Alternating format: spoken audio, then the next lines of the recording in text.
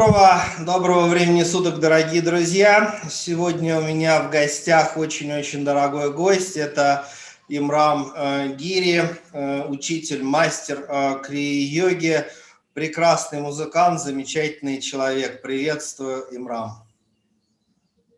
Приветствую, дорогой, приветствую. Не менее ценный, бесценный подарок судьбы для людей – это Святослав Дубянский, который так очень много времени и сил тратит на то, чтобы донести до людей такое великое учение, как Крия, как Саната Надхарма. И я очень рад на самом деле, потому что ты действительно делаешь очень много.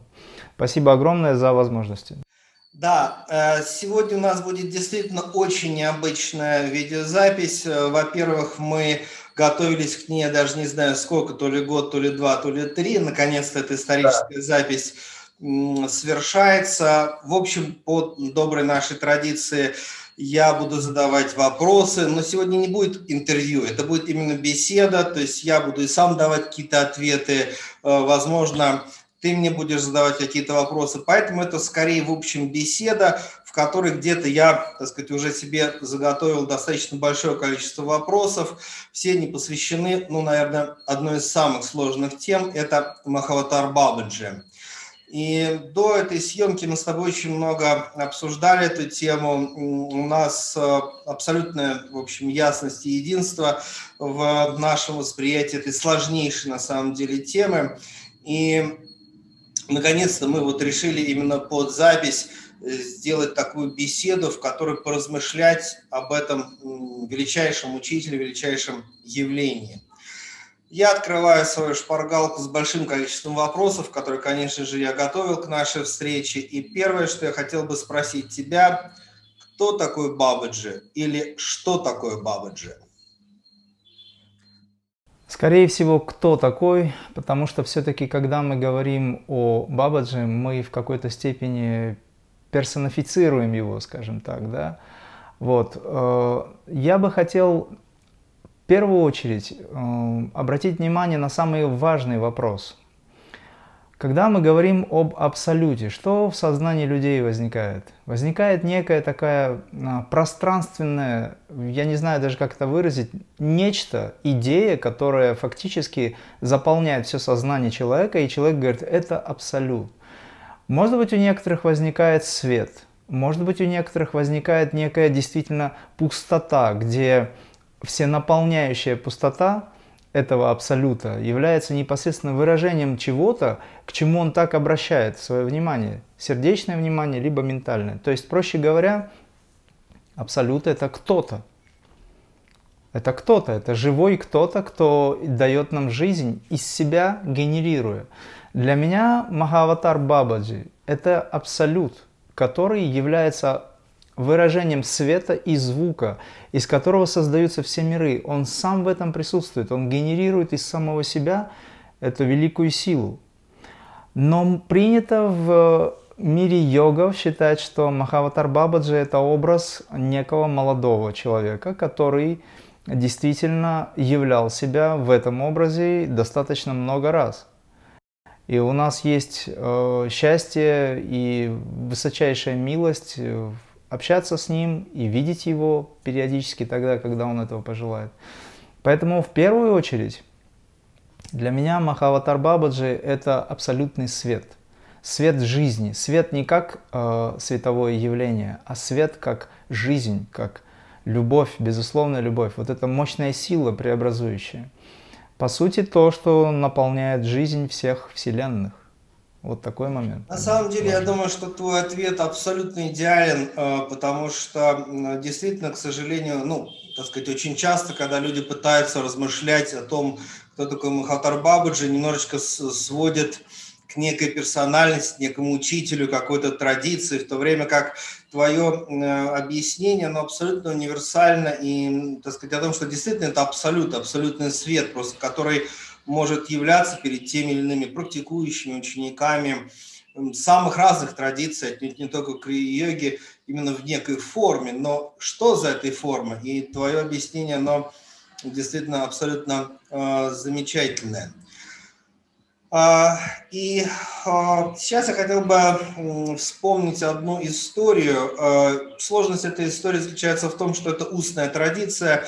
Я, честно сказать, не очень знаю, насколько это отображено в каких-то книгах. По-моему, Ягананда об этом никогда не писал. Но устная традиция, как так сказать, от моего учителя Йогера Маяха, так и, в общем, в линии Шри-Юктешвара, она, так сказать, гласит о такой вот действительно удивительной истории – в некоторых своих видео я вспоминаю эту историю, что в конце 19 века, скорее всего, эта встреча произошла в Бенарасе, Варанаси, где Махатар Бабаджи появился перед Лахири Махасаем, своим великим учеником, и по предположению на этой встрече присутствовало еще три великих ученика Лахири Махасая, в частности с вами Пранавананда, а также Рамгу Палмазундар и Батачари, такие достаточно ключевые э, ученики э, Лахири Махасая. И возник э, вопрос о возрасте Махаватара Бабаджи. Естественно, тут же мы улыбаемся, потому что говорить о возрасте абсолютно практически невозможно. В соответствии с этой историей, я повторяю, что это устная традиция, но, тем не менее, давай возьмем ее хотя бы хоть как-то за основу. Махадар Бабаджи улыбнулся и сказал, что он физически в этой форме присутствует четыре кальпы в этой вселенной. А я в своих книгах, а, ну, на сегодняшний момент у меня уже больше 10 книг издано, некоторые из них посвящены Сатисае, некоторые Махатар Бабджи и Йогера Маяху. я помню, когда я, так сказать, лет 10 назад издавал первую книгу, я, зная эту историю, честно тебе скажу, я немножко испугался написать там 4 кальпы, я написал миллионы-миллионы лет, но как бы 4 кальпы это несравненно больше. На самом деле, да. как бы вот эта история вообще показывает масштабность этого абсолюта, да, который как да. нет даже, что такое четыре кальпы, это четыре раза затворился и исчез э, этот мир, да, то есть как это можно э, уместить в наше сознание, вот как ты мог бы прокомментировать эту историю? Я бы сказал, что даже тогда, когда наступает пролая, когда ничего нет, Махаватар Бабаджи присутствует, потому что четыре кальпы, это значит есть еще пятая, есть еще шестая, у нас на самом деле очень много кальп прошло уже, и никто ведь толком не знает, действительно, сколько лет Вселенной.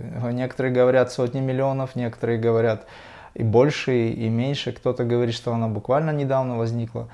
Опять же вопрос, э, в каком измерении эта Вселенная недавно возникла? У нас же ведь есть еще и параллельные возможности да, восприятия этого всего. Поэтому для меня Махаватар Бабаджи – это то нечто, что никогда не умирало. А если оно, это нечто, не умирало, то у него нет возраста. В любой момент может возникнуть персона или личность, проявленная в любом возрасте. Аватары приходят двумя способами. Они возникают из света, это я так это видел – и второй, э, вторая возможность или, скажем, такой, второй э, способ, это когда мать вынашивает 9 месяцев аватара, но при этом отец не принимает участие. И тот и другой способ являются универсальными во всех отношениях. Сейчас мы не будем вдаваться в подробности, как это происходит. Это происходит в любом случае. Мы знаем, что Сай такое же явление, мы знаем, что Мастер Иисус такое же явление. Мы об этом знаем. Мы не просто в это верим, но мы об этом знаем. Мы знаем, как это все работает. Но при этом, конечно же, глубочайшая преданность и уважение всему этому не позволяет мне рассуждать на эту тему именно посредственно, э, как, как вот как ученые это делают, разбираясь и копаясь в этом. Это священно. И просто я принимаю как человек, который фактически непосредственно имел опыт и видел, мне посчастливилось в этом воплощении увидеть вот это рождение, мгновенное рождение. И второе рождение увидеть посчастливилось нам всем, это Сати Сай. Поэтому для меня это все свет, свет, который выбрал скажем, такую форму в той или иной степени. И, конечно же, это могут быть четыре кальпы, отвечая вот на твой вопрос. Более того, я скажу тебе, что я был возле этого дерева, баньян, и не один раз был возле этого дерева, где сильнейшая энергия. На э, Праяге в районе Аллахабада находится этот баньян, в котором, возле которого или у которого э, явил себя Бабаджи. Он пригласил э, Юктышевара Гириджи. Естественно, там были другие ученики наверняка. Вот. Это был момент, когда была Великая Кумхамела, величайший праздник, и там собрали, собралось очень большое количество йогов, и нам посчастливилось там оказаться тоже. Мы были там несколько раз, еще раз я возил группу туда, и я видел этот баньян, мы медитировали у этого баньяна почти долгое время. Вот. Конечно, в тот момент Бабаджи не явил себя физически, но там было присутствие. Опять же, мы говорим о присутствии, мы все время ощущаем Бога. Мы не можем от Него никуда деться, Он все время с нами, потому что все есть Он. И, конечно, это 4 кальпы. Я полностью с этим согласен. Я бы хотел, чтобы это было 24 кальпы. На самом деле. Замечательно написал то, что аватары приходят разным способом.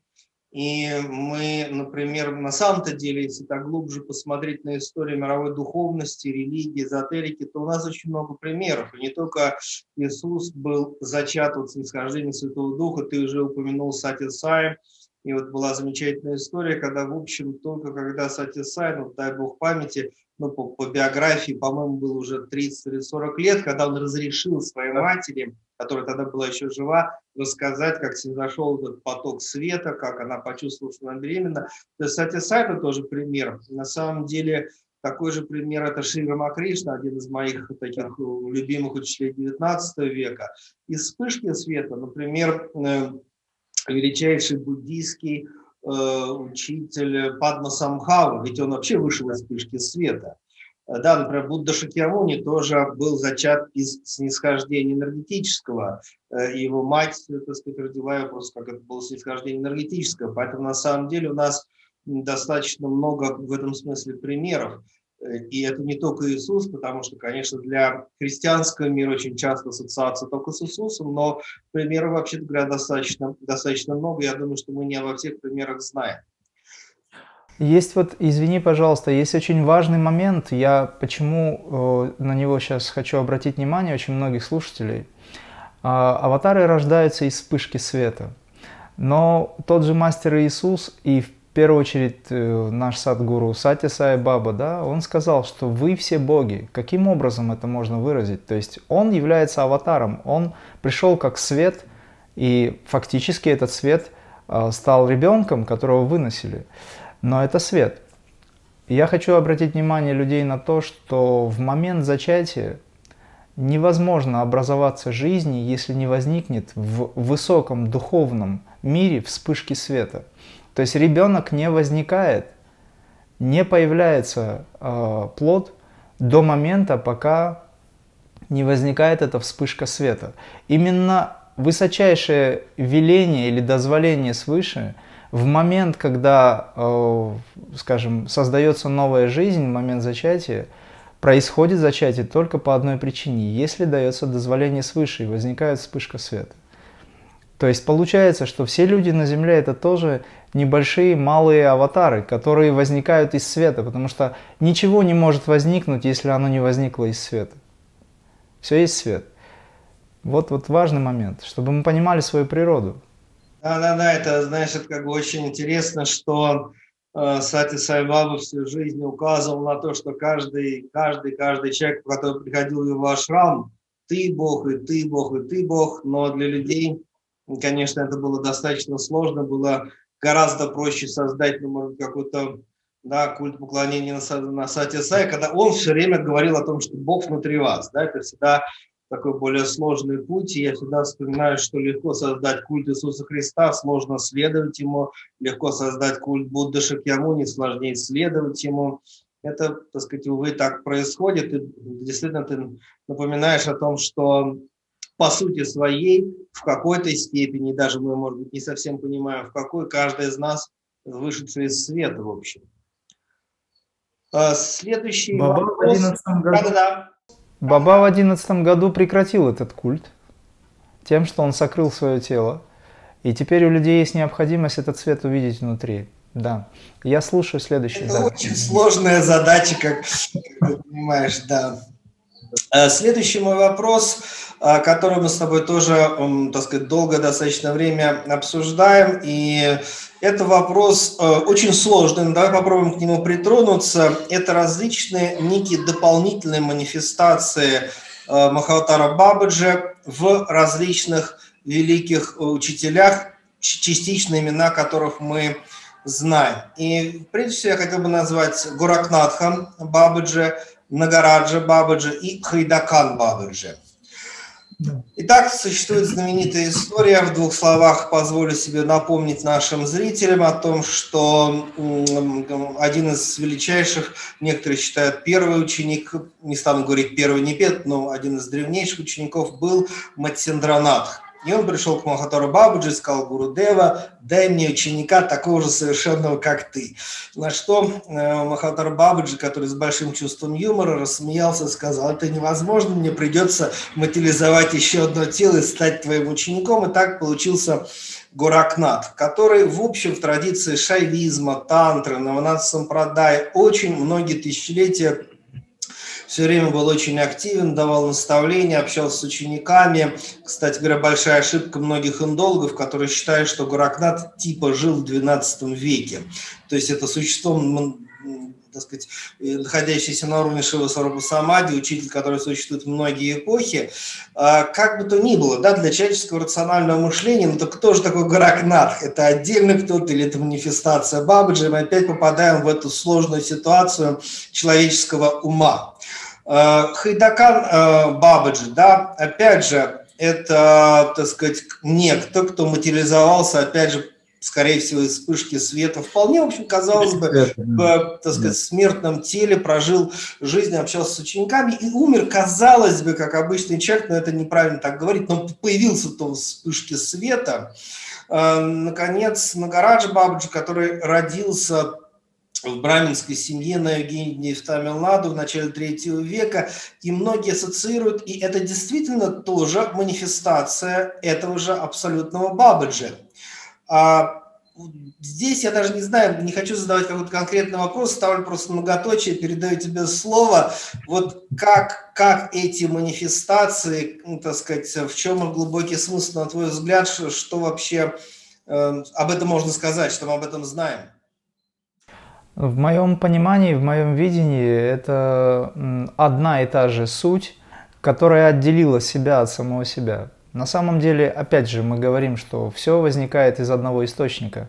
Если Магаватар Бабаджи, рассмеявшись, сказал, что он не может этого сделать, тогда ему действительно пришлось отделить от самого же себя, с которым он, которым он является непосредственно, Тут очень важный момент, когда мы общаемся с проявленной э, сутью аватара, очень многие люди забываются. Э, например, Сай Баба тоже часто говорил о том, что вы привыкаете к моей личности внешне проявленной и забываете, кто я на самом деле. То есть речь не идет о том, что эта личность о себе мнит. Дело в том, что он обращает внимание людей на то, что находится за этой личностью чем является это нечто, из которого возникла эта личность. И Махаватар Бабаджи, он, будучи всем во всем, будучи вот этим абсолютным явлением, он просто из себя создал нечто, которое выразило себя как Горакнат. И чтобы было больше возможностей взаимодействия с людьми, он появился не как второй Бабаджи, а как Горакнатх от которого пошла эта линия. Вообще, э, скажем так, ситхи, да, бессмертные ситхи, не люди, которые стали ситхами, не человеки, а те, кто пришли свыше, они очень часто делали то, что называется, множили свое тело, свои тела, используя вот этот единый принцип существующего сознания для помощи этому миру и отработки даже кармы – то есть свою фактически э, суть, разделив, сохраняя вот это объединение, это действительно обычному уму непонятно, как это происходит, сохраняя эту еди, единую суть, то, что называется сознание, высочайшее сознание или свет разума, они создавали тела для того, чтобы работать в этом миру. И поэтому и возникает путаница в реальности. Но, что интересно – Мы все из Бога, мы все единое да, проявление Бога, но каждый сам по себе, вот сейчас сознание людей, оно же ведь делится. Оно делится на двойственный мир, двойственность это проявлено. То есть я, например, это я, а вот ты, это ты. Мы так живем в этом мире. Лишь только немногие знают о том, что все едино. Но для того, чтобы знать, что все едино, нужно познать этот принцип единства внутри себя. Да? И тогда ты видишь проявленную суть самого же себя да, из этого сознания. Вот между Бабаджи и Гуракнатхом нет никакой разницы в этом смысле. Но есть разница внешняя. Когда Сайбабу спросили э, про Бабаджи, он сказал, нет никакой разницы. Если вы молитесь Бабаджи, считайте, что вы молитесь мне. И наоборот, была такая фраза. Но был момент, когда Бабаджи пришел к Сайбабе на Даршан. Весь зал замер. Никто не мог пошевелиться. В течение минуты или более Бабаджи стоял на небольшом отдалении от Сайбабы, и они молча смотрели друг на друга. Молча. Затем он развернулся и ушел. Люди не могли ничего понять, естественно, они были в неком состоянии таком. Когда все это закончилось, многие саи преданные – конечно же, это русские, побежали вслед за этим необычайной красоты молодым человеком сразу же, но он исчез бесследно. Но э, как-то эта информация все-таки была доведена до, видимо, близких рядом с Сайбабой, кто находился, людей, и были, люди сказали, что это был Бабаджи. Я, конечно, в этот момент не присутствовал там, но я знаю, что наверняка они встречались. И есть уникальные кадры, где Хайдакан Бабаджи и Сати Сай Баба вместе поднимаются на э, гору Кайлас. Ты, наверное, знаешь, что настоящая, ну как скажем так, не настоящая, а главная гора Кайлас находится в Хайдакане. И это гора, на которой сидел Бабаджи около 50 дней, Хайдакхан Бабаджи, а, окруженный огнем, и он находился в Самадхи. И это была его манифестация была его. А тот кайлас, который в Тибете, он не является первым кайласом. Вообще, касательно кайласов, об этом говорил Горакнатх. И есть несколько мест, где был установлен вот этот вот символ, который мы называем кайлас. И самый первый это как раз Хайдакан район. Он гораздо меньше по высоте, этот кайлас, нежели тот, который э, имеет 6, 6 и так далее. Вот. Но подняться на него не так легко людям, как оказывается. Мы с группой поднимались туда несколько раз, и людям было достаточно сложно, хотя туда ходят местные. Это необычное место, очень вибрирует э, мощной силой. Поэтому для меня э, Хайдахан Бабаджи, который якобы ушел как обычный человек, взяв карму на себя, да, в реальности ведь мы знаем, что он через два дня снова появился. Он появился и просто поговорил с, своими учениками, близкими. То же самое сделал мастер Иисус, когда он просто явился после того, как его, а, его сознание было в единстве, ушло, как говорится, со креста, так скажем. Поэтому, да, это одно и то же. По большому счету мы все одно. Это то же самое, Горакнатх, но Горакнатх это то, что мы называем Горакнатхом, который оставил определенные знания, дал э, в мир направление. В частности, он известен как, э, скажем так, законодатель хатха-йоги, но ведь мы знаем, что хатха-йога это не просто хатха-йога с телом. Хатха-йога Горакнатха очень сильно отличается от хатха-йоги, который сейчас. Вот. И были случаи, когда они втроем появлялись. Были случаи, когда они вместе, находясь, играя в эту отделенность, появлялись в миру. А, кстати говоря, в Гималаях, в районе Утаркаши, Горакнатх очень часто появлялся. Я был в этих районах и проводил достаточно много времени а, в практиках, в аскезе. И там был, был и Бабаджи тоже. Когда я получил инициацию в Крия Кундалини, момент, э, когда явился Сати Сай Баба и дал Шактипат, Это было в Аллахабаде, как раз э, в святом этом районе, где прояк находился, находится, да. На следующий день я видел Бабаджи в световом теле. Но я его видел не физически, а через медитацию. Сначала я заснул телом, потом оказался в этом осознанном состоянии, где мы с Бабаджи общались, он держал меня за руку, и я его физически держал, но его тело было совершенно прозрачным, сквозь это тело матовый свет, за которым даже были очертания другого, то есть э, окружения, ну то есть каких-то деревьев там и так далее. И он со мной разговаривал, он был счастлив в возможности. Кстати, он был очень шустрым в этот момент. Озорным, как ребенок.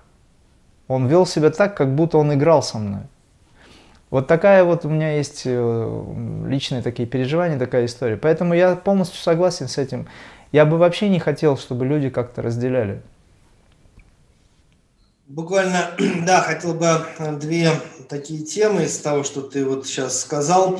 Первое, конечно, это потрясающе интересная, красивая, мистичная тема взаимосвязь одного сознания, двух тел Махатар Бабаджи и Сати Сайбаба. Э, действительно, так сказать, например, мы знаем, что Сати Сай совершал паломничество только в одно место, это был Бадринатх да, и куда он несколько раз в 60-е, 70-е, начале 80-х годов именно ехал как паломник. Это потрясающе. Э, сама высшая божественная инкарнация едет как паломничество только в одно место. Именно тот район, где, в общем, находятся ашрамы, в том числе Махалтара Бабаджи. Э, помимо всего прочего, есть очень важная книга э, Сатисая Нарайна Гухашам. Я был хорошо знаком с, с вами Кишварананда, автором этой книги. Сатисай, так сказать, 80-е да, годы основал ашрам рядом с Бадринатхом. И хорошо знаю эту гору, где этот ашрам был основан. И туда в том числе приходил Махатар Бабаджи, чтобы тоже дать некие духовные наставления в общем группе учеников Сатисая. Поэтому это действительно очень интересная э, такая тема. И еще, э, так сказать, хотел бы тоже и сказать, и где-то, в общем, да, задать и вопрос в том числе. Вот смотри, даже вот сейчас по ходу нашей беседы ты упомянул о своих э, встречах как на тонком плане, в общем, ну, где-то, э, наверное, и упомянул уже о физических встречах с Бабаджи. У тебя помимо этого есть еще целый ряд видео, где ты рассказываешь о своих встречах с Бабаджи. И я думаю, что ты абсолютно хорошо знаешь о том, что кто-то с восторгом слушает вот такие твои рассказы, кто-то начинает тебя критиковать. На самом деле я хотел бы сказать вот тем, кто критикует, что вы даже не понимаете, насколько тяжело э, говорить о подобных опытах. И я, например, считаю, что Имрам в данном случае является героем, что вообще рассказывает эти истории, потому что это не просто рассказывать. И в этом смысле э, действительно это очень важно, что ты делишься как, какой-то частью своих э, опытов, э, потому что это дает вдохновение для других людей. Да? Потому что когда мы читаем книги, это одно, а когда мы видим человека, который может сказать, да, вот я видел это на тонком плане, я видел это физически, и то это очень большое вдохновение для многих. Естественно, к сожалению, человеческое сознание склонно критиковать, завидовать и так далее, но я думаю, что это надо быть очень осторожным, потому что, в общем, это действительно я знаю, что это очень большой подвиг с твоей стороны вообще об этом рассказывать. Это трудно физически даже, на самом деле. Но, извини, может быть, я перебил, я просто хочу сказать, что очень благодарен и тем, кто критикует. Наверняка они есть, я об этом мало знаю. Вот, я, когда мне ребята говорят о том, что новое видео вышло, я иногда спрашиваю, есть ли там критические замечания людей. Мне интересно это. Те, кто вдохновляются, они молодцы, и я рад, что есть такая возможность у меня. Делюсь я этим только по одной причине. Я вообще многие годы молчал на эту тему. Есть только одна причина. И эта причина сам Бабаджи. Сам Махаватар Бабаджи. Туда же, в эту же, э, скажем, причину я э, отношу и Сати Сай Бабы тоже, потому что для меня это одно и то же, еще раз хочу сказать. И я даже как-то сделал следующее. У меня иногда называлось так, Крия, Саи Крия Бабаджи. Потому что для меня нет разделения между Саи и Бабаджи. Вот. И поэтому тем, кто критикует, я им благодарен, потому что я вижу, что они смотрят эти видео, они их слушают, и они хотя бы таким образом имеют некую сопричастность. Да, сейчас, может быть, сердце еще нуждается в том, чтобы раскрыться, в том, чтобы не обязательно даже верить. Не верьте, но проверьте. Есть такое очень знаменитое высказывание мастера Иисуса. Но они с этим сопричастность имеют, они слушают, им интересно. Да, ментал, может быть, еще не принимает. Может быть, как ты говоришь, есть зависть. Ведь э, мы все, как говорится, люди, нуждающиеся в том, чтобы каким-то образом изменить свое сознание, раскрыться. Даже если человек заблуждается, но он искренен в этом, да, то это очень важно. Важна даже сама искренность, а не то, о чем он говорит или на какую тему думает. Поэтому здесь в этом смысле меня ничто не волнует абсолютно.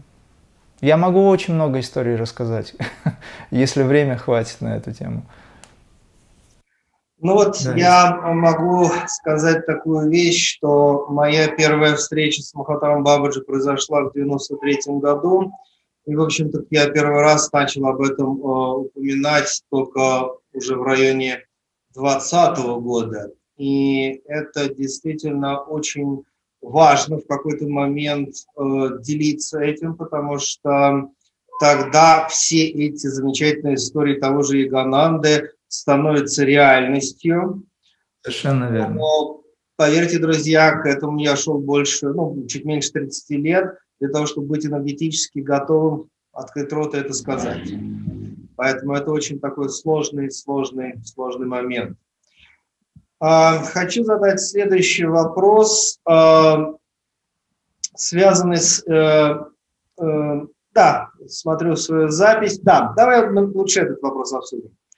Итак, смотри, э, во второй половине 20 века э, в Соединенных Штатах Америки жил замечательный мистик э, доктор Уэйн Дайер которого я очень-очень ценю, я очень люблю его книги, никогда его физически не встречал.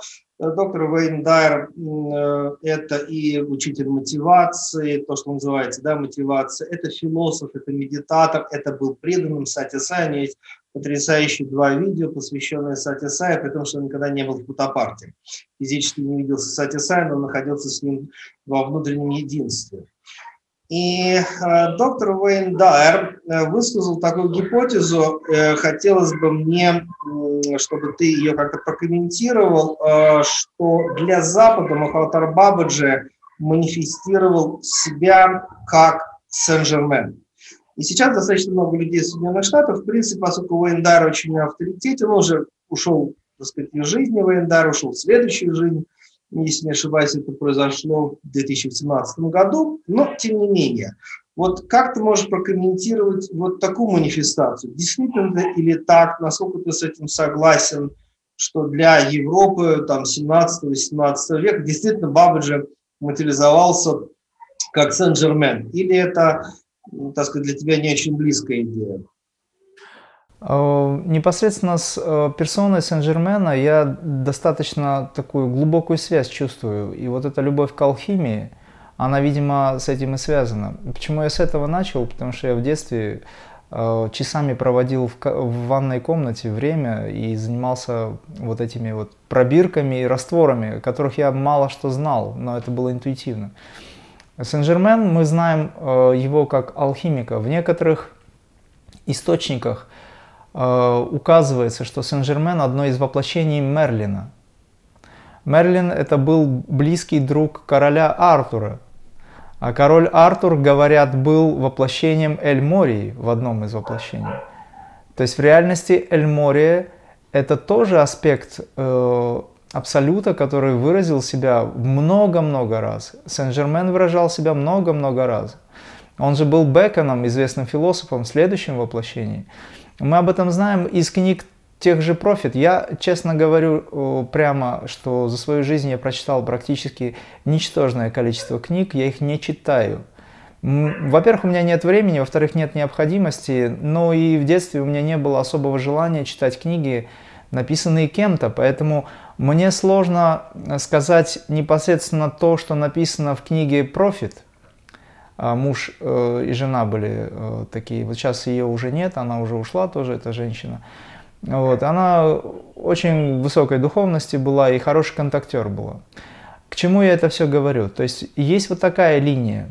Есть другое мнение, о котором ты сказал, что вполне возможно, что Сен-Жермен и есть воплощение Бабаджи. Я склонен верить этому в большей степени, но и не отвергаю то предыдущее. Почему? Да потому что взгляды людей разные. А, дело в том, что это универсальное сознание, оно играет много ролей. Вот, например, на Даршане Сайбаба подходит к преданным. С одной стороны, мы его видим как Шива, с другой стороны, этот же преданный, рядом сидящий, может видеть как Вишну или как Кришна. И потом они с пеной у рта друг другу доказывают, что Сайбаба был Кришной в этот момент. Но действительно, действительно он был с двух сторон разным, совершенно разным. Иногда Баба бывает громадным, иногда Баба бывает маленьким, иногда он бывает син, синим, иногда белым. То есть в реальности наше сознание воспринимает именно то, к чему оно готово, или то, что необходимо воспринять для какой-то работы. Поэтому Махаватар Бабаджи, естественно, если мы говорим о Бабаджи как о концепции абсолюта, он себя выразил и как Сен-Жермен, и как тот Гермес Тристмегист, и как многие другие аспекты, которые фактически возникают из единого источника. И я вам могу сказать, что у них нет человеческой кармы. Если мы говорим о том, что все остальные люди, которые существуют здесь на сегодняшний день, они разные, и у каждого разные воплощения, разное количество воплощений, но у этих людей есть человеческая карма, и они развиваются от минералов до растений, от растений развивались до, скажем так, э, животного происхождения, то те, о которых мы сейчас говорим, они не приходили на Землю в таком виде, как э, имеющие карму. Они возникали, приходили на Землю много раз и приходят для того, чтобы поднимать сознание, эволюцию этого всего, и не являются теми, у кого есть человеческая карма. Соответственно, это не люди, это воплощение в человеческие тела. И, естественно, они могут иметь очень много задач. Они имеют очень много задач. Либо это те, некоторые из них, которые прошли человеческую эволюцию полностью, завершили и больше не приходят на Землю как обычные люди, но находятся в высших сферах, такие как учителя, вознесенные владыки, уже завершившие полностью. А, я как-то в одном из э, интервью рассказывал о том, что есть святой и он ныне жив в теле. Э, живет он на юге Дагестана, его зовут Махмуд Баба. И мы очень часто с ним общались, к нему, к нему часто ездили, группами ездили. И у нас были не один раз, а много раз была уединенная беседа с ним. Его дом находится на святом месте, где до него в этом месте был а, очень часто находился его мастер, его учитель который демонстрировал, ну скажем так, он не демонстрировал, но люди видели в нем очень много ситх. И в данном случае Баба тоже обладает определенными качествами и общается с Ширди Сай очень часто, и с Сати Сай, и с Бабаджи. То есть я был свидетелем несколько раз того, когда Бабаджи являлся нам, его милость в женском теле – и когда я смотрел на это женское тело, это была селянка внешне, одетая достаточно просто.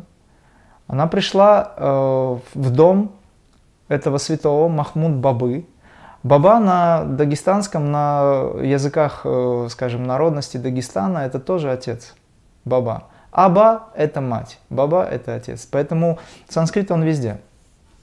Ну вот я коротко сейчас расскажу, значит, историю. Мы приехали к Сайбабе, нас было трое. Э, мы приехали к Махмуд Бабе, нас было трое. Приехали почему? Потому что, ну, во-первых, в душе захотелось увидеть его. Во-вторых, Махмуд Баба просил меня перед отъездом к Сати Сае в Путапарте заехать к нему. Я приехал, и у него была личная просьба, как ни странно. Он общался, и баба к нему приходит, но он попросил в этот момент меня, в этот раз меня, о том, чтобы я обратился к Сайбабе, там, в Путапарте. И были три вопроса, которые он просил меня передать Сайбабе. Я это, конечно, сделал. И в момент, когда мы общались, Надо сказать, что двор, в котором жил, живет Махмуд Баба, он достаточно большой, и железные ворота очень хорошо слышно. Железные ворота, которые открываются и закрываются, их слышно прямо в квартире. Это в домике. Это, в принципе, достаточно большая территория. Вот. Чтобы зайти в дом Махмбабы, нужно пройти две двери. Главная, которая в дом заходит, потом тамбур небольшой, коридорчик, и в зал, в котором мы находились. В какой-то момент я почувствовал, мы говорим, говорили всегда о Боге и говорим всегда о Нем, говорили о разных э, проявлениях Его, говорили о духовности в целом. Сидели мы втроем, я был, мой товарищ был, с которым я был в горах в момент, когда Бабаджи явил свое тело. И еще один человек находился. Он, был, он нас привез на машине. Мы сидели, значит, возникла вибрация интересная. Эта вибрация была необычная, и затем просто открылась дверь в зал. Никто не входил в дом, никто не э, шумел воротами. Заходит достаточно грузная женщина. Но глаза этой женщины были очень необычные. Эта грузная женщина, полная, полноватая, была одета как обычная селянка, которая может быть в селе на юге Дагестана. Волосы были аккуратно собраны, но что меня поразило? Это глаза. Глаза были в точности, как мы знаем, э, которые были у, или есть у Бабаджи. И там материализов... тот материализованный образ э, Бабаджи, который есть сейчас, и он э, у людей распространяет люди между собой, а вот те глаза, вот тот взгляд его, в какой-то степени даже колкий, мощный, пронизывающий взгляд. Ровно эти же глаза я видел э, у этой женщины. И что меня еще поразило, она держала четки ведическим образом. У мусульман так не держат четки, я это точно знаю. Потому что я родился в Дагестане, я знаю а, очень многие практики, закрытые практики, суфийские практики, шиитов, суннитов – она держала четкий ведическим образом, указательный палец не касался. И перебирались четки только большим пальцем, через средний. Когда она зашла, или он зашел, было множественное э, количество отрыжек. Так, такое ощущение, что воздуха было в теле огромное количество, эти отрыжки были, но она как бы э, скажем так, вы, выводила, высвобождала из себя этот воздух.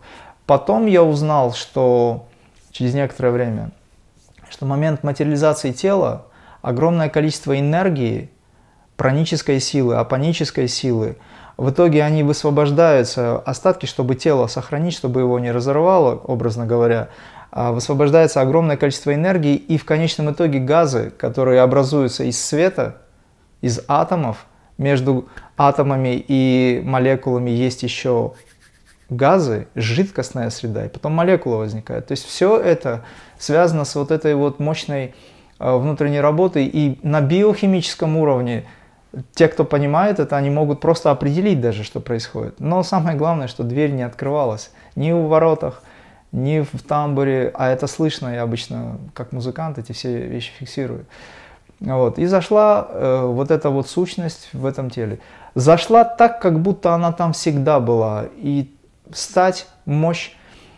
Что интересно следующее.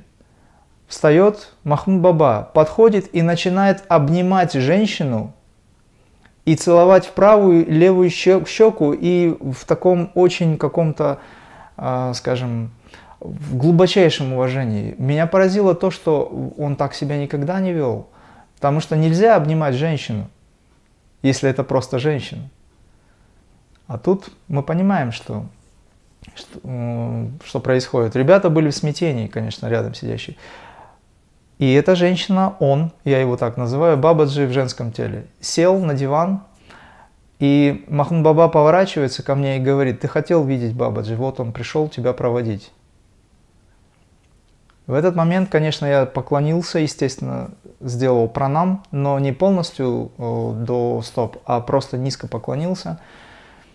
И она или Бабаджи, скажем так, э, ничего не говорил, молча смотрел мне в глаза некоторое время. Потом он сделал такое движение, вытащил, э, у него здесь был кошелек. Он вытащил, раскрыл этот кошелек, и там лежали 100 рублей и 50 рублей. Он достает мне 100 рублей и говорит, возьми, это тебе пригодится.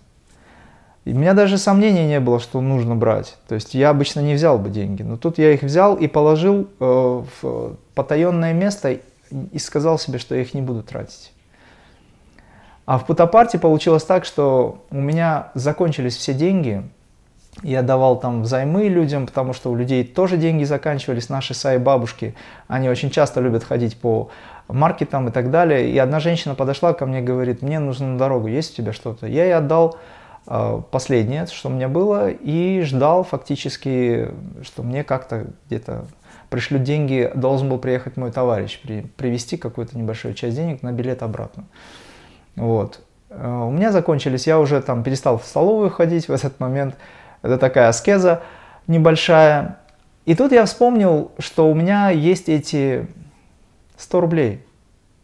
Они находились совершенно в другом месте, в потаенном месте кошелька, там, скажем, да, который на поясе носит. Когда я открыл этот кошелек, в этом месте я увидел там новые совершенно 500 а, рупиевые купюры вместо этих 100 рублей. То есть эти деньги исчезли у меня. Остались только 2 500 э, рупиевые купюры. 500 рупий одни я отдал Сайрамовке, э, член САИ организации, она купила себе билет до Дели. И 500 рупий я себе оставил. Вот такая история у меня. Поэтому Махаватар Бабаджи, он, Махмуд Баба говорит, он как собака может прийти, как вообще Бог может проявить себя, как лиса, как птица и так далее. И мы действительно свидетели этому всему.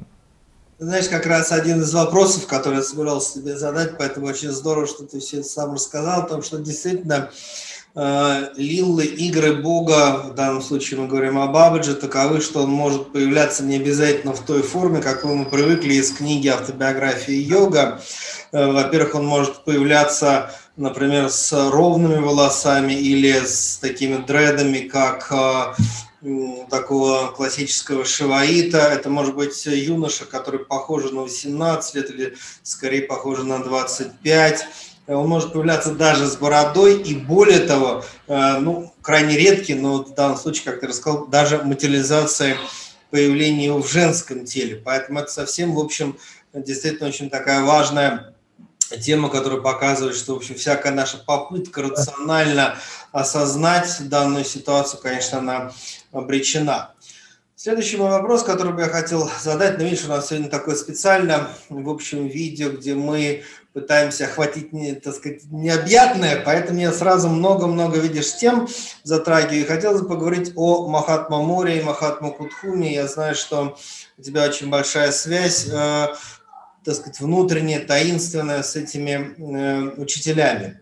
Э, итак, э, Махатма Бори, Махатма Кутхуми говорили э, Блаватской электронной своей ученице о том, что они являются в том числе мастерами раджа-йоги, так сказать, они практикуют некие техники, никаких подробностей. Ну, либо они не сообщили Блаватской, либо Блаватская посчитала нужным не донести дальше – мой учитель Йоги Рамаях, который родился в 1923, покинул этот мир в 2006 году, и 50-е, 60-е годы он достаточно долго жил в Бадринатхе, общался с Махатаром Бабаджи в разных телах, что на самом деле впоследствии очень сильно запутало некоторых из его учеников, уж не будем об этом говорить, потому что он, как говорится, отдельно встречался с этим телом, и с другим, и с третьим, и с четвертым. Это Лила. Да. Э, и вот э, Йоги Рамая говорил мне такую очень важную вещь, что, во-первых, он очень почитал сюда Блаватскую, ну, на самом деле, Рерихов, и он говорил о том, что когда э, Махатма Мури, Махатма Кутхуми говорили Блаватской о том, что они практикуют, ну, так сказать, некие техники раджа-йоги, крия-йоги, то они имели в виду, прежде всего, практики крия-кундалини пранаяма.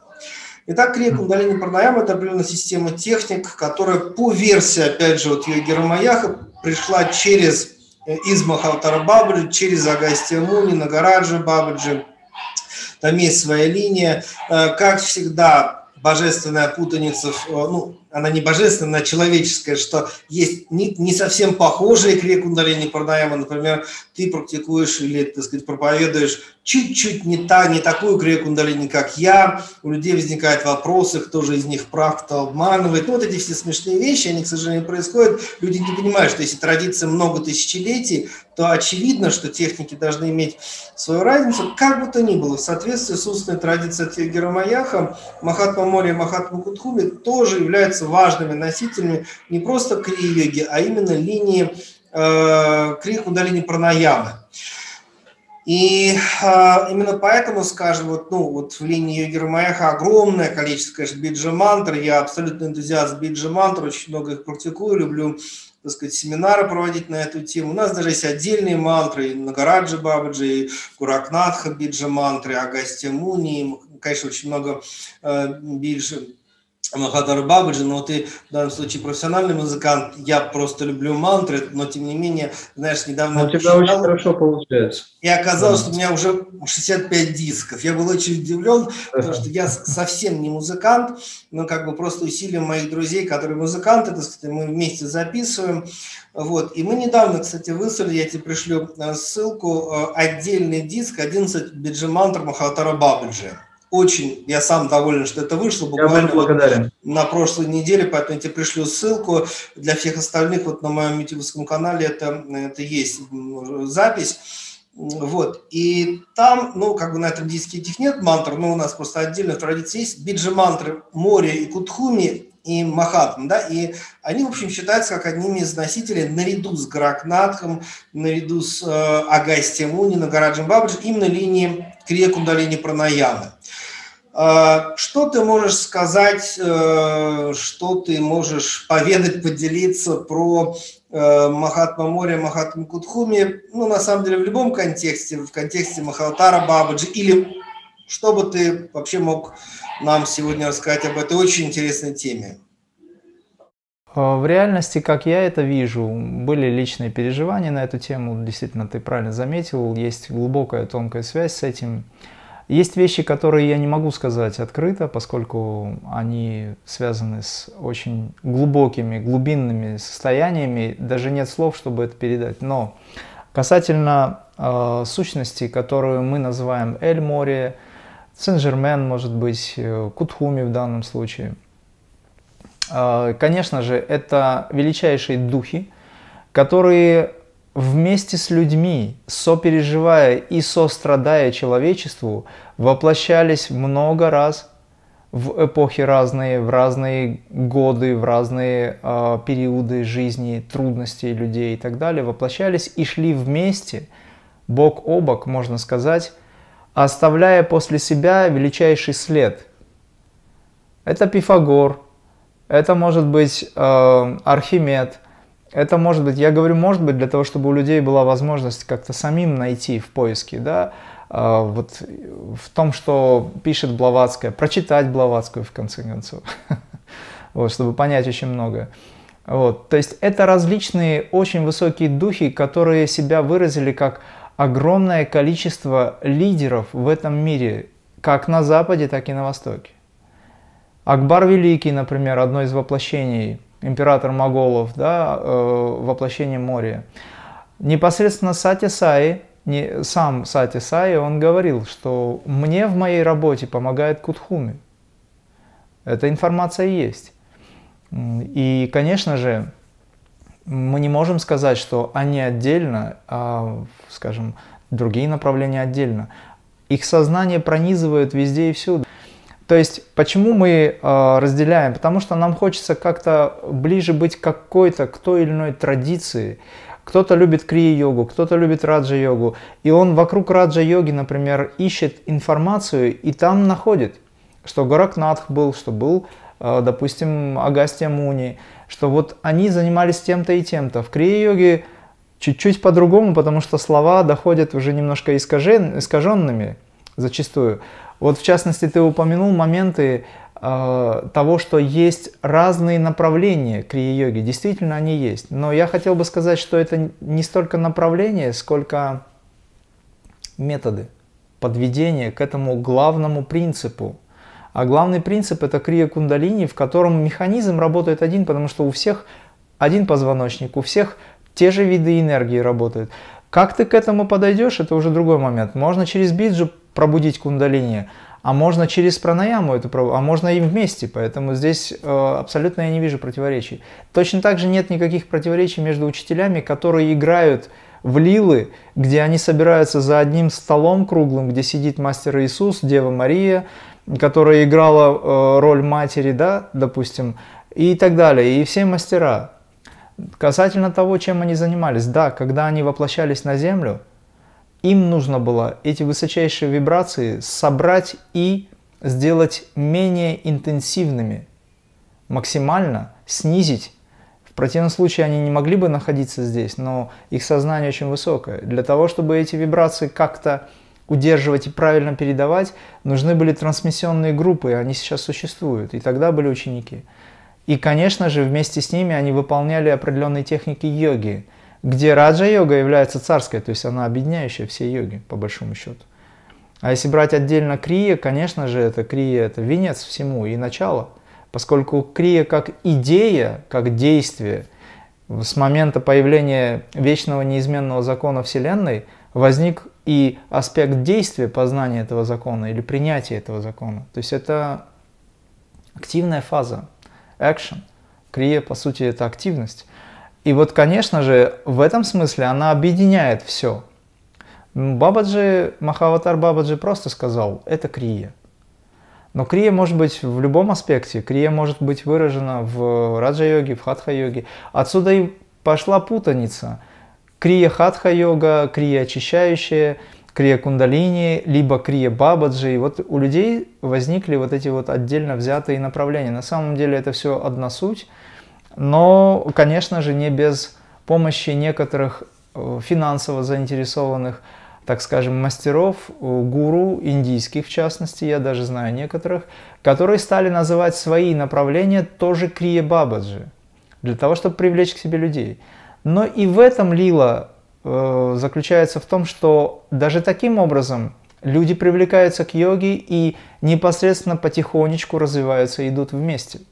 Пусть они занимаются пока разными направлениями. Я понимаю, что я задал вопрос, э, сразу перепрыгнул, как говорится, задал вопрос э, Самнат Гири Махараджу Пайлоту Баби. Когда мы сидели вместе, общались достаточно долго, он мне предложил тогда сотрудничество. Такое вот настоящее сотрудничество. И гуру Санкальпу выразил. И говорит, что ты даешь сейчас крия-йогу, в ответ на то, что я ему задал вопрос, я говорю, почему вы не даете крие, ту, которая очень быстро развивает людей, почему вы даете традиционные вещи? Он говорит, люди не готовы. Это было в 2009 году. Ты даешь, ты работаешь с ними, а я, говорит, устал. Им еще нужно очень многое понять.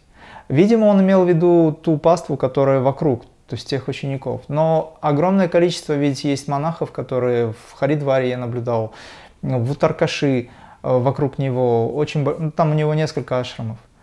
И, кстати говоря, он мне предлагал возглавить ашрам в Харидваре в свое время, поскольку у меня есть э, сан Брамина. Я монах в миру, приняв саньясу, он же предложил мне принять саньясу, потому что он говорит, полторы тысячи лет назад мы были вместе в одном ордене. И я помню, как раз первый раз, когда мы увиделись, он сразу обратил внимание и потом отдельно пригласил к себе. Вот. И то, что он говорил, ну, это там личные моменты были мне и супруге. Это, конечно, очень многих потрясло, кто был рядом. Вот. И, конечно же, возникает путаница из того, что есть раджа-йога, есть крия-йога в отдельности. Многие мастера начинают так и преподавать с точки зрения этого крия. И если мы говорим о том, что есть Махаватар Бабаджи, есть Сен-Жермен, есть Кутхуми, есть э, Эль-Море, Санат Кумар, вознесенные владыки и учителя, мастер Иисус, вознесенная владыка и учитель, и, по сути, олицетворение сострадания – это Мать Мария, которая, в общем-то, в китайском пантеоне может выглядеть как Гуань-инь, Матерь мира. Ведь это одно и то же. Это совершенно одинаковое нечто или э, единство, одного во многих, единство в многообразии. Конечно же, это многообразие, когда воплощалось с нами, с простыми людьми, душами, оно давало нам пример. И, естественно, мы теперь можем сказать, да, Кутхоми занимался раджа-йогой, но для кого он занимался? Он показывал, как нужно делать тем, кто вокруг него. То есть все эти учителя, которые сейчас вместе, вознесенные владыки, они находятся вместе всегда и работают каждый в своем луче, ты об этом знаешь. Они работают именно в направлении эволюции. А что такое эволюция? Это йога. Это наша с тобой йога, наша всех людей йога. Это путь, как практика.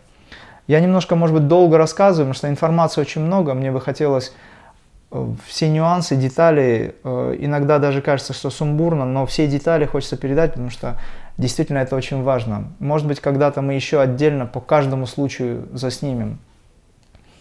То, что э, эти учителя находятся с нами все время, это действительно так. Те, кому недостаточно понимания, они имеют возможность лицезреть физически иной раз. Те, у кого есть достаточно понимания, они способны чувствовать присутствие. И тогда физическое присутствие не обязательно. Некоторые задают вопрос, почему вот иногда вот некоторым везет, физически появился. Сам Лахири Махасая видел Бабаджи всего три раза, насколько я помню. То есть это, это подарок физически, но он все время был связан с ним. Какой смысл воплощения физического или, скажем, генерировать эту энергию, собирать ее физически в тело, если есть прямая связь? В этом нет необходимости. Сайбаба материализовал кольца кому? Или браслеты кулоны? Тем, кто был не способен его чувствовать и обращаться к нему для напоминания. А те, кто имели прямую связь с ним, в этом нет необходимости. У меня, например, никогда не было такого настойчивого желания чтобы он материализовал мне кольцо. Потому что в этом не было необходимости. Для чего? Если я знаю о нем, если я его чувствую, если я стремлюсь к нему, мне не нужно это внешнее, только внутреннее. Но я очень э, молился всегда, и, в общем-то, на сегодняшний день тоже это чувство не пропало никуда, об интервью. Сайбаба говорит, вы приходите ко мне, вы стремитесь все на физическое интервьюирование. Вы хотите ко мне попасть физически на интервью. Когда вы попадаете, вы счастливы, но когда вы выходите, вы снова начинаете страдать и забываете обо мне, зачастую. Но когда я прихожу в интервью, то есть внутри, через сон, либо в медитации, я меняю вас на всех уровнях. И поэтому он сказал интервью, интервью, интервью. Вот это важный момент. И у меня было свыше 30 интервью, может быть и больше даже. И у тебя они были наверняка, когда баба приходила, и когда ты понимаешь, что прямо перед тобой сейчас стоит Творец в форме или в образе Сати Сай, либо Бабаджи. Вот. Ну, конечно, физическое явление, оно тоже никуда не девается, и, естественно, эти э, счастливые мом- моменты, мгновения, они запечатлеваются, как говорится, не только на всю жизнь, но и на все воплощения и в прошлого, и в будущего. Поэтому да, учителя вместе с нами, но они, показывая пример, практикуют э, то, чем мы должны с вами заниматься. Вот ты, например, представь себе, ты аватар, ты вместе с учениками практикуешь. Ученику нужно показать, ты это делаешь, показываешь личным примером, как мы должны развиваться. Поэтому мы все движемся за учителями. Учителя это тоже аватары. Огромное спасибо за такой вот подробный рассказ. А смотрю, на часы у нас еще, наверное, минут 5-10 есть. Я хотел бы еще э, один-два вопроса, да. чтобы мы э, обсудили. И один из этих вопросов, ну, на самом деле, мы уже его достаточно подробно ты осветил. Э, ну, давай еще раз его тоже озвучим. Это ученики Махаватара Бабаджи. На самом деле это очень важная тема, на мой взгляд, для того, чтобы понять ну, вообще масштабность эм, Бабаджи, достаточно сказать о его учениках. Про некоторых из его учеников э, писал э, про Махамса Югананда, э, про некоторых мы знаем из устной традиции, в частности от Йогера Маяха. Эм, я, э, например, э, среди таких наиболее знаменитых учеников, конечно же, готов назвать и Будду Шакьямуни, и Иисуса Христа. Я прекрасно понимаю, что когда я произношу имя Будда Шакьямуни, в общем, все буддисты тут же на меня начинают обижаться, но что делать, такая информация есть. Э, когда мы говорим про Иисуса Христа, да, есть вот эти таинственные 15 или 17 лет, которые он провел в Индии, и где он обучался разным философским э, системам, в том числе системам медитации. Как ты абсолютно точно сказал, что в те времена сам Иисус, скорее всего, практически точно не называл эту систему крии-йогой. И об этом, кстати, писал Йогананда, о том, что Иисус и некоторые из его наиболее продвинутых учеников, таких как апостол Иоанн или Павел, практиковали все эти системы, ну, в общем, не называя крии-йогой, и источником здесь был тот же Махатар Бабаджи, когда вот Иисус прожил э, часть своей жизни в Индии, где получил э, свое духовное образование. Э, ну вот, кстати, среди важных учеников Махатара Бабаджи называется и Вьяса Дева, который, в общем, написал Махабхарату и Бхагавадгиту, скомпоновал четыре Веды, Пураны и так далее. И почему, например, в Бхагавадгите мы с легкой руки Ягананды воспринимаем Кришну, вообще-то говоря, как Махаватара Бабаджи, потому что, как ты помнишь, что Ясудева писал э, пещере в деревне Мана, недалеко от Бадринатха, как раз напротив той долины, где э, водопад Васудхара, это пространство как раз, где находятся эти ашрамы, так сказать, это очень сложная, это опять же тема, я думаю, что мы, может быть, в этом, может быть, в следующем видео об этом поговорим, потому что люди надеются, что они придут и увидят эту пещеру, а на самом деле масштабность Махатара Бабаджи, Гуракнатха Бабаджи и иных э, великих учителей, она такова, что где они находятся, в каком пространстве, между какими пространствами. Поэтому прийти в Гималай, это, в общем, в наше время могут любые туристы, даже в долину Сатопанга, о которой говорится, что это есть место этих ашрамов, но кроме прекрасных гор, в общем, люди ничего не видят, потому что слишком материально пытаются понять, где эти ашрамы. И вот по устной традиции, опять же, в Ясаде, ну, так сказать, величайший, по сути, автор чуть ли не всех священных древних текстов ведических, э, жил он рядом с Бадринатхом, получал наставление Махатара Бабаджи, отсюда Бхагавадгита, в общем, это не исторический Кришна, да, который жил за 10-15 столетий до того, как Ясадева написал э, Бхагавадгита, а в общем это по сути Бабаджи, который приходил, давал наставления, и вот он стал как литературным героем. Вообще про саму Ясуде, в общем, так сказать, это тоже такой большой вопрос. На самом деле предполагается, что он жил то ли две, то ли три тысячи лет до э, новой эры, но уже даже в XIV веке новой эры, спустя несколько тысячелетий, с ним встречался, например, Мадавачария. То есть, поэтому сам Ясудева, в общем, это личность абсолютно уникальная, и это совершенно очевидно. Йогананда, например, упоминал, что Ади Шанкарачария, Ади Шанкара был непосредственным учеником Махатара Бабаджи, что само по себе очень важно, потому что две ключевые личности, Вьяса Дева и Ади Шанкара, вот они создали, сформировали ведический индуизм, то, что мы называем, они были учениками Э, Кабира, тоже Кабир Дас, называется среди учеников Махадара Бабаджи. И в наше время, ну, учеников-то у него на самом-то деле достаточно, наверное, даже больше, чем мы представляем, потому что большая часть его учеников, вообще-то говоря, об этом не рассказывают. У кого-то, у кого есть миссия рассказать, тот рассказывает, но я бы хотел назвать два таких имени, это Ним Короли Баба и Девраха Баба про которых тоже устная традиция Крия-йоги говорят о том, что они были непосредственными учениками Хатара Бабаджа. Кстати говоря, никогда об этом при жизни Ним Король Баба и Девраха Баба никогда об этом не говорили, а тем не менее мы, мой учитель Егер Маях вполне, так сказать, э, мог об этом свидетельствовать, потому что в 50-е 60-е годы, обучаясь ему Хатара Бабаджи, в общем, все это он, конечно, знал очень хорошо. Тоже достаточно великий такой э, пример. Э, среди учеников Махатара Бабаджи, в общем, так называется, даже Падма Самхава, совсем будут критиковать нас буддисты, но нам с тобой терять нечего.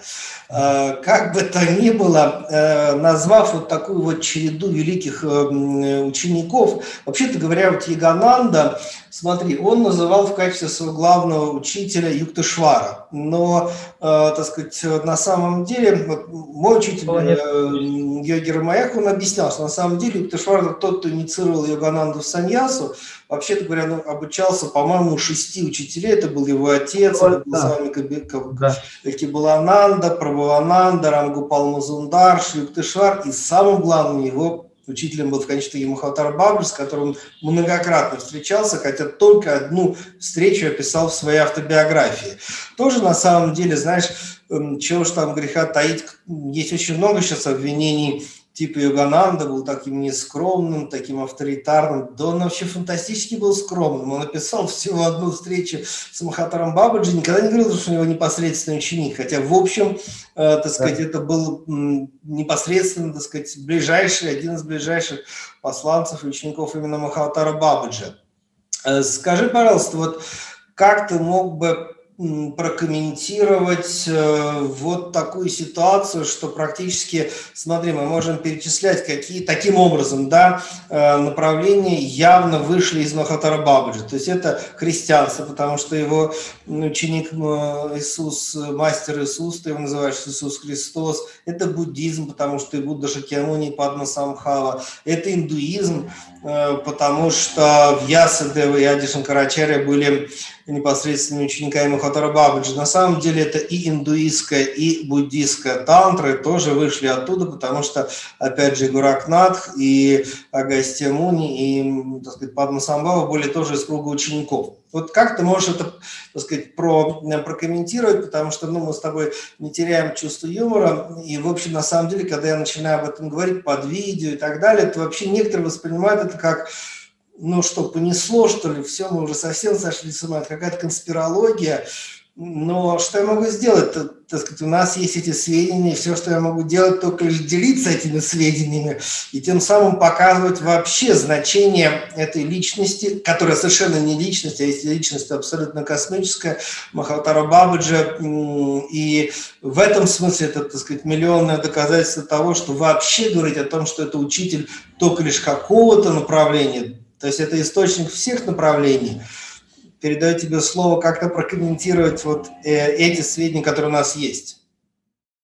Мне понравилось то, что ты сказал, что нам терять нечего. Я просто хотел бы добавить, что тот, кто не обретал, тот не может потерять на самом деле. А, потому что приобретение это то, когда ты находишься в стороне и что-то добываешь, и тогда ты боишься это потерять. Но если человек достигает состояния единства, сознания изначального своего, сознание достигает, да, то есть то, о чем мы говорим, по сути, цель жизни каждого человека – это обрести а, состояние, где ты в единстве находишься со своим высшим «я».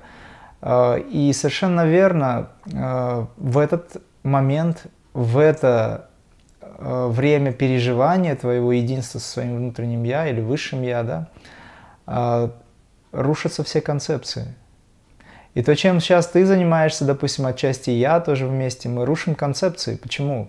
Потому что они сформированы не совсем верно, может быть, не совсем точно. И тогда приходится, конечно, видеть эту контрастность. Как это так? Будда Падма Самхава, который является э, изначально основанием да, вообще всего буддизма, является учеником чьим-то. Это же невозможно в сознании обычных людей, потому что это рушит концепцию. Но в реальности, если взять, допустим, такое направление, как дзогчен – это крия-йога. Это та крия, о которой мы говорим, как о чистом разуме или чистом сознании, или то, что называется высочайшая способность разума расщеплять, как говорится, все и вся, находясь в этом состоянии принципа свет чистого сознания, да, находясь в этом состоянии. Вот это и есть, собственно, дзог-чен. И что мы тогда можем сказать? Что это не раджа-йога? Или это не крия-йога? Но о чем тут говорить? Да, методы подведения разные. Если, допустим, мы говорим о том, что, я иногда пример привожу, есть пирамида четырехгранная. С этой стороны идет буддист, ползет, ему трудно к Богу, наверху Бог находится образно. И ему очень трудно подниматься, потому что, потому что это трудно. А с этой стороны поднимается мусульманин, с этой христианин, отсюда может быть иудей, неважно, кто-либо еще они друг друга не видят. Но когда они встречаются, они очень далеки друг от друга. Потому что здесь грани очень широкие, им трудно понять единство. Когда они поднимаются вверх, им становится все труднее и труднее, Бог им помогает, и они снимают с себя стружку вот этой, э, скажем, ненужного вот этого вот отношения, ментальности, стружку и все, становится чище. Здесь грани соединяются, становятся ближе, и люди становятся ближе друг к другу, конфессии становятся ближе друг к другу. Наверху там вообще исчезают все конфессии. Поэтому я начал с того, что когда ты не приобретал, а являешься этим изначально, то там нет никаких концепций. И сколько бы люди не пытались понять, что такое самадхи, что за система и так далее, когда вы входите в самадхи реальное, исчезают все концепции и все, и все то, что вы приобретали в качестве каких-то э, способов подведения или подхождения к этому, все исчезает, остается только то, что есть изначально. И из этого изначального возникает снова импульс, и этот импульс может выразить себя как христианство, как допустим, там буддизм, как Падма Самхава, как Бабаджи, как Горакнатх, как что угодно. Абсолютно все, чем, как говорится, заведует Абсолют, непосредственно первоисточник, вот это вот первопричина, которая является причиной для всего, что мы знаем. И все, чем она заведует, это ее. Она полностью поглощает это. И в этом состоянии, конечно же, людям сложно понять, почему такая путаница – Почему, что, что вообще происходит действительно? Но в реальности мы можем сказать, что мудрец народа не является проявлением Бога. Тогда каким образом он вообще существует? Можем ли мы сказать, что Вьясдев, а, который написал просто титаническое количество информации, не исказив ни одну букву, какое сознание человека может это все выдержать? Это только божественный разум может сделать. Естественно, мы не можем сказать, что он человек. Да более того, Сайбаба говорит, что вы не человеки, вы все боги. Мастер Иисус говорит, разве не сказывал я вам, что вы боги все? В Евангелии почитайте. То есть Другое дело, когда мы смотрим снизу наверх, это один момент. Когда мы смотрим сверху вниз, это другой момент. Сверху вниз имеется в виду свысока. Свысока не эгоистически, а свыше. Когда человек осознает, что он высочайшая природа, ему легче работать с этой природой, ему легче понять себя. Вот о чем речь. Поэтому, конечно же, для меня это все проявление Бога, абсолютно все. Единство в этом многообразии – да. Но вначале я упомянул, что мы проходили с вами, многие из нас проходили человеческую карму, то есть эволюция виток за витком – и на пути к этому очень многие забыли свою природу, отойдя в, далеко от, скажем, того изначального принципа. Вот, например, если взять минерал, например, да, он очень, волна творения, вот если взять океан, и волна, которая возвышается, очень даль, далекая волна от поверхности океана во время шторма, которая поднимается на 3, 5, 10, 15 метров, неважно. Это принцип минералов, они очень далеки от океана. В этот момент волна забывает о том, что она часть океана, она просто волна. Но в момент, когда она падает, сливается, естественно, все возникает как принцип единства. Поэтому минералы, они далеко от эволюции. Растения чуть ближе, это чуть э, ниже волна. Животные еще ближе к поверхности океана, океан это Бог. Но они все-таки удалены. Человек ближе всего, а ангелы, они совсем близко к поверхности океана. Поэтому они о Боге знают больше, но у них нет возможностей, таких, как есть у человека. Человек – это единственное существо, которое может осознать Бога. Никто его не может осознать. В этом смысле я понимаю, что говорю. Но речь идет о том, что люди, которые больше отдают предпочтение ментальному плану, они ковыряются вот в этих э, аспектах, пытаясь найти, ну вот применяя, скажем, ученый взгляд, так называемый, без подтвержденный, неподтвержденный или без подкрепления духовности, сердечности этой. И тогда им сложно понять, потому что они пытаются просто оперировать фактами, не включая сердце. А сердце, оно знает гораздо больше, интуиция знает больше. И тогда ты чувствуешь, что есть связь.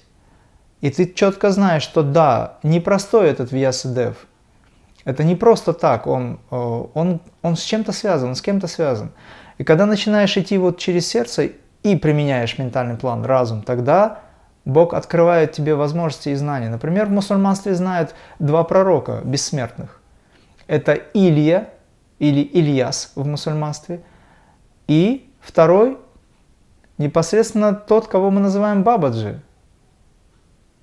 А в мусульманстве ее зовут Хидр или Хизр, бессмертный пророк, который черпал знания непосредственно из Абсолюта, из Божественного. Так вот, Хидир или э, Хизр – это есть никто иной, как Бабаджи, который проявил себя. На Востоке э, Бабаджи – это аспект Христа, а на Западе аспект Христа – это есть Бабаджи. То есть вот такая вот э, картина – где мы можем понять, что вот этот единый принцип, он везде. Называем их по-разному, тогда возникает путаница. Если нет сердца, если нет ощущения, что это принцип единства. И, конечно, люди, которые говорят, ну как так, Падма Самхава, ну или буддисты, да, в целом, они говорят, есть отдельное взятое направление. Ну как можно сказать, что есть отдельно взятое направление? От чего оно отделено? И очень важный момент, я вам скажу, где недавно, достаточно недавно, это в 2011 году, я был на аудиенции у Далай-Ламы. Он давал учение. Я привез туда группу достаточно большую. Нам посчастливилось э, встретиться непосредственно с Далай-Ламой э, уже в перерыве.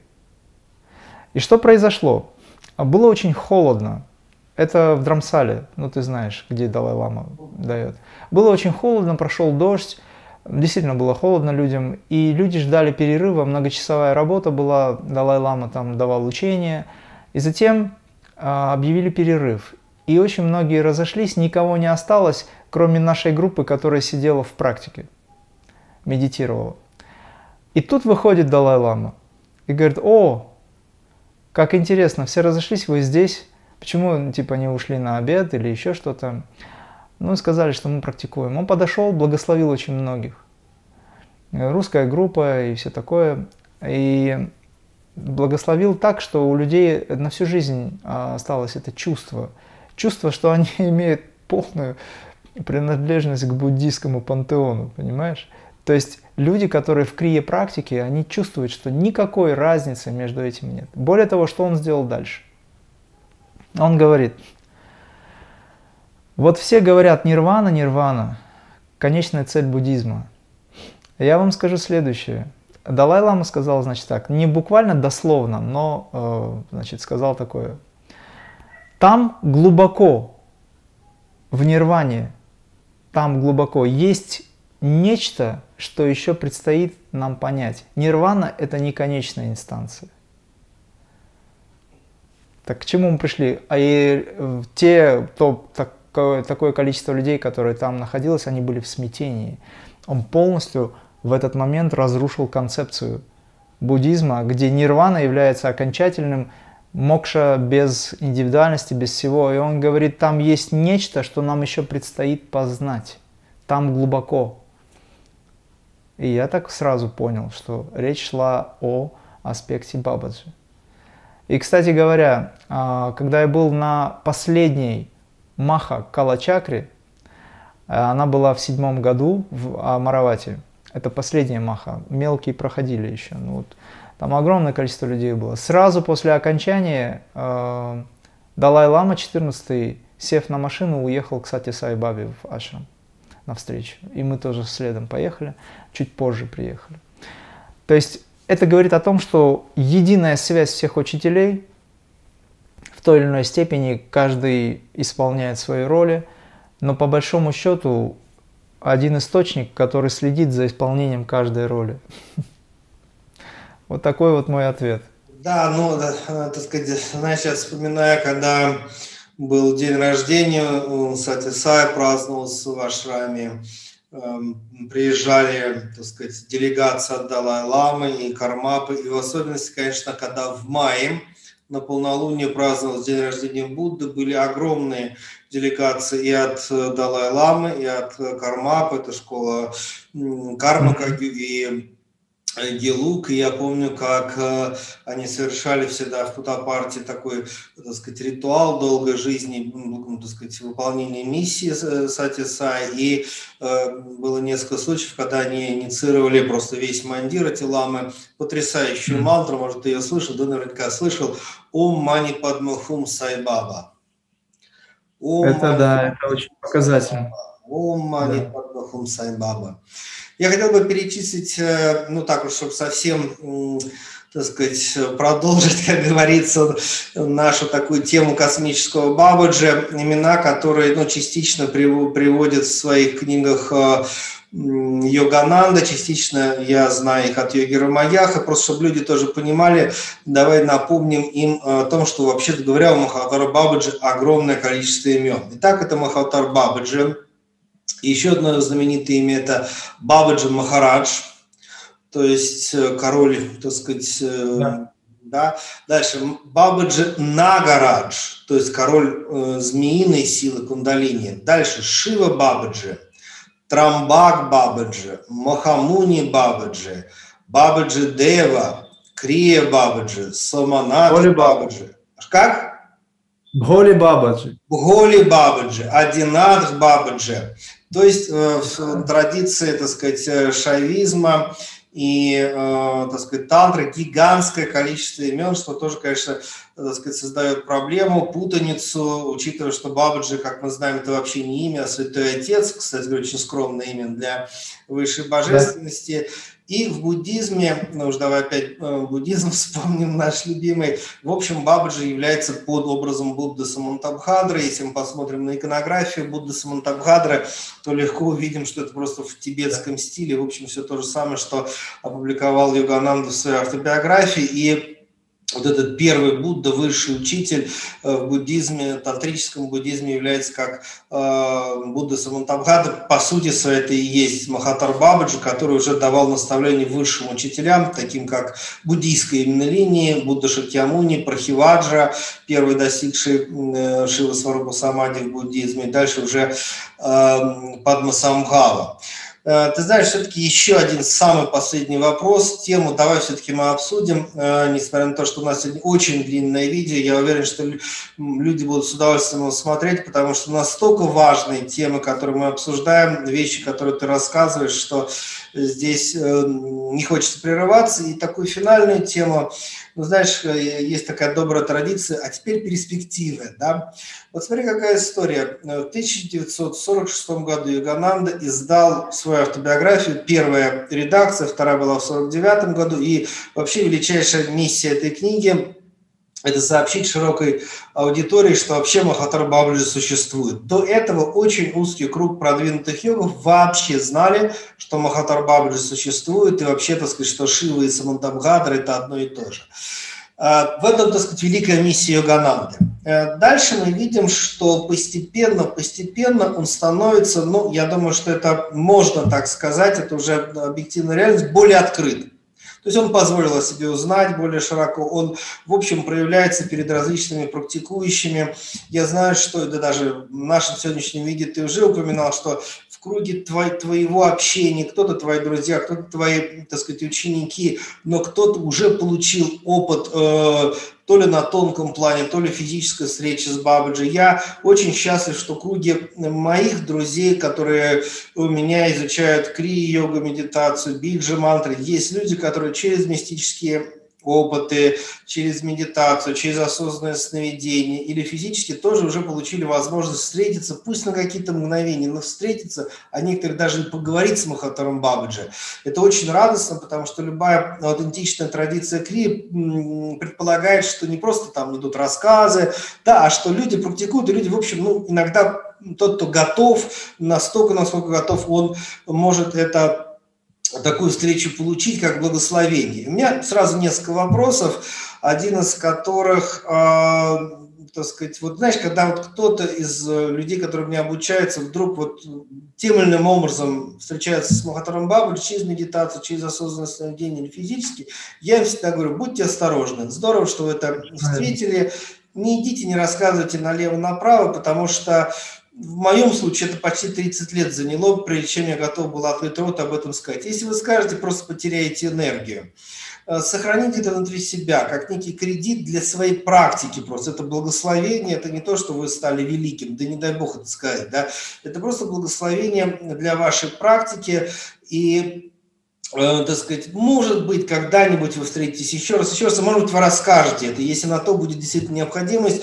И я еще раз повторюсь, что Ним Король и Баба и Девраха Баба, величайшие мастера 20 века, да. никогда не упоминали, да. если не Гермаях, я бы, наверное, даже и не знал об этом, да, но, тем не менее, ближайшие ученики Девраха Баба и Ним Король и Баба вообще не упоминали об этом никогда, не, не считали это, это нужным, а кто-то, наоборот, должен был сказать, например, Йогананда, например, Йогер Маях, в принципе, он это не скрывал, но не очень-то и кричал, поэтому при жизни он, в общем, и не был вот так знаменит, потому что не, не было вот такой необходимости как-то слишком заявлять. Хотя он и не скрывал ее Гермаях, вот мой учитель, да. И, э, на мой взгляд, вот согласишься ли ты со мной или нет, но понятно, что мы не можем думать за Махаватара Бабаджи, было бы смешно, но, на мой взгляд, он становится более открыт. Это означает, что ну, я не знаю, на каком-то моменте, может быть, э, это будет еще, еще больше открытость, возможность. То есть похоже на то, что человечество все-таки продвигается в сторону духовной зрелости и больше готовности вообще встретиться с этим высшим учителем. Вот как ты видишь эту ситуацию, перспективы, что ты можешь об этом сказать? 321 год, два пары юги на дворе. Сейчас зима, хороший снег – но это не Кали-юга. 321 год, два пары юги. Конечно же, в этом сознании э, на сегодняшний день люди готовы к тому, чтобы э, хотя бы каким-то образом э, соприкоснуться с этой великой или высокой силой, которая может быть выражена в лице или в образе Махаватара Бабаджи в том или ином направлении, в той или иной конфессии, в учении. Сейчас ты, наверное, заметил, что религиозные конфессии тоже меняются. Я говорю о том, о том что э, религиозный концепт меняется и в какой-то степени разрушен прежний религиозный концепт. То есть, по сути, вся та догма, которую пичкали многих, она сейчас видоизменилась в лучшую сторону, либо в каком-то месте или в каком-то виде она разрушена. Это говорит о том, что сознание людей меняется, и сознание творит мир. Сознание людей пробуждается, сейчас направо-налево об этом говорят, потому что уже 321 год, и от нас требуется очень высокая осознанность. И чтобы эта осознанность стала еще быстрее и лучше, а главное качественнее, Бабаджи все больше и больше проявляет себя.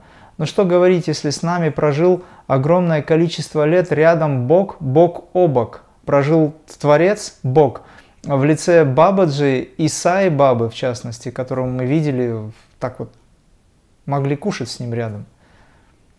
И что это значит? Это значит, что мы готовы к этому.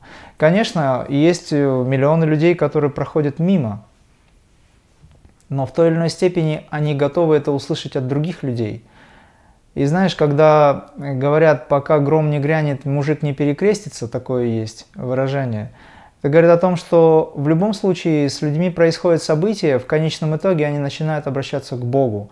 Самый последний атеист, э, он все равно религиозен в душе, просто он не верит в эту религиозность.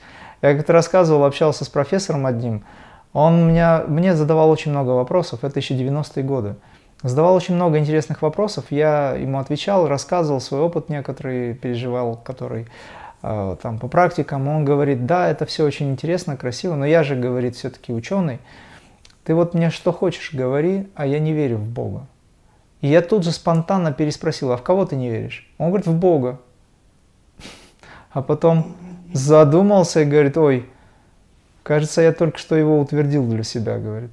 То есть он просто, он знает, что Бог существует, но он в, в него не верит. Просто, ну, так его ментальный план устроен, ему нужно почувствовать. Но на сегодняшний день, на сегодняшний день, э, вот в наше время, сейчас, сознание смутное становится все ярче и светлее. Соответственно, у людей есть такая необходимость испытывать, э, переживать общение с Бабаджи в той или иной форме, либо через учителей, да через тебя Бабаджи работает. И еще прекрасно работает. И, конечно, не дай Бог нам сказать, что это мы. Это Он через нас. До момента, когда ты выходишь за пределы, когда ты вышел за пределы своего личностного аспекта, там не существует ни Имрама, ни Святослава, ни кого-либо еще, там есть только Бабаджи, только Баба. В том смысле, что как сам, сам в себе. Вот, один без другого, что называется. Но когда он позволяет свершиться этой игре, он опять отделяет себя от самого себя, и появляется Святослав, появляется Видянатх, Горотнатх, появляются все остальные, которые выполняют ту или иную работу. Зачем это нужно по большому счету? Да потому что сам Баба, как первоисточник, как Сад Пуруш, он, кроме него никого нет. Он хочет тоже развлечений на своем уровне. Может, это нельзя сказать, что это именно развлечение. Он сам себя допознает, он делится своей любовью э, с самим собой, который выразил себя в разных, в разных совершенно э, аспектах. Вот, например, мы говорим о Шиве, огромное количество людей молится Шиве. А кто такой Шива? Если есть Сад Пуруш, то Шива это сын Сад Пуруша. Если есть Абсолют, то Шива это проявленная форма Абсолюта. А раз он проявлен, значит он вторичен, а не первичен. Но для тех, кто еще ниже, Шива является Абсолютом потому что он для них первичен. Но они не знают, что за ним находится. А за ним есть еще супер абсолют, самого абсолюта, и так до бесконечности, казалось бы. И это, чтобы понять, это же все нужно пережить. Поэтому Сай-Баба, он является аспектом Шива Шакти, где присутствуют абсолютно все виды энергии. Естественно, обращаясь э, к образу Сай-Бабы, мы можем понять, каким образом абсолют взаимодействует с этим миром. И мы за все эти годы имели счастье и возможность, великолепие видеть э, явление аватара или вот этой вот абсолютной силы. Конечно же, люди готовы к этому. Поэтому Бабаджи и позволил Лахири Махасая, это не только даже сейчас, в 21 году, 321 Двапари Юги, это и раньше, когда Бабаджи дал это знание, он его и собирался дать, насколько я понимаю. Просто Лахири Махасая слезно выпросил у него, дабы повысить значимость этого учения Бабаджи не соглашался с самого начала. Чтобы Лахири Махасая по-настоящему попросил это, потому что это жемчужина, ее просто так не раздают. Но мы все с вами сейчас имеем э, счастье наблюдать вот этот аспект трансформации, где непосредственно Бабаджи лицом к лицу с нами вместе. Просто не все понимают, как это. Не все готовы еще к этому. Увидеть вот даже в мелочах этот аспект, да, эту проявленность. Все ждут, ум же сразу оперирует на то, что так, Бабаджи, он должен прийти, это кто? Это личность, он должен прийти, физически покажите, я поверю. Недавно у меня был разговор, а, и одна женщина, достаточно продвинутая, творческая, она говорит, ну вот хорошо, ну как я могу поверить, что фотография материализации э, Бабаджи, которую я ей продемонстрировал, показал, это не является каким-то фотошопом. Я говорю, ты не можешь это понять, ты можешь только поверить или нет, ты можешь только прочувствовать. Когда мы с ней стали общаться, она мне в конце говорит, я верю, что это была материализация. Потому что сам разговор и само общение э, в целом, та энергия и то присутствие, которое было, потому что мы говорили о нем, а там, где двое говорят обо мне, я третий, Бабаджи сказал через Иисуса, через форму Иисуса, да, оно позволило ей поверить, уверовать, и этот человек сейчас на путь встал духовный. Ей не хватало немножко, она была между, ми, между мирами, между материальным и духовным миром, скажем так. Я не разделяю, но это в ее понимании. И ей нужно было сделать один шаг, нужно было, и она не, не решалась это сделать. И это произошло сейчас, и она счастлива. На сегодняшний день э, мы все можем быть счастливыми только от того, что мы знаем, что такое явление, как Бабаджи, все время взаимодействует с нами. И неважно, он физически появляется или нет, мы постоянно получаем эту мощную силу э, любви, э, трансформации и мудрости, которая родится в нас в конечном итоге как э, божественность.